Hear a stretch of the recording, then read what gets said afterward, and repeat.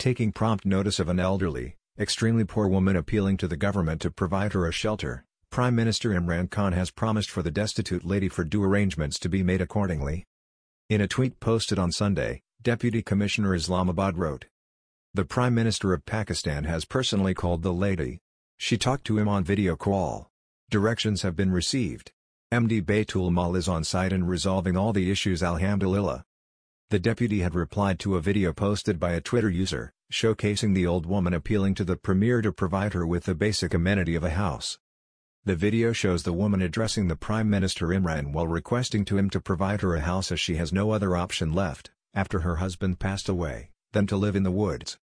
Due to severe poverty the woman spends her days and nights under the open skies, in the outskirts of Islamabad, near the Burakahu Valley. The user had also urged Pakistan Tehreek-Insaf MNA Ali Awan to take necessary measures to help the woman in need.